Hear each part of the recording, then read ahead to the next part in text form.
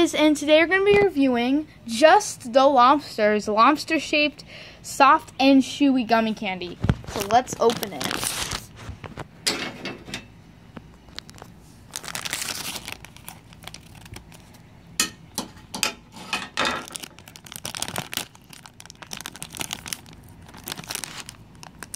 Hold on.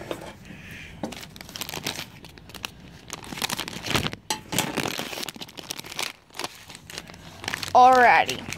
So this is what it looks like from inside. It smells really good. It smells like strawberry. And let's take one out. And let's try it. Look at that. Looks like a lobster. Mmm. Mmm.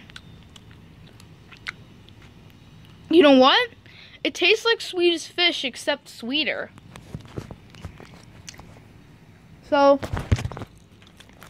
these are kind of like Swedish fish, except they're like more sweeter. These are really good, actually. These are super delicious.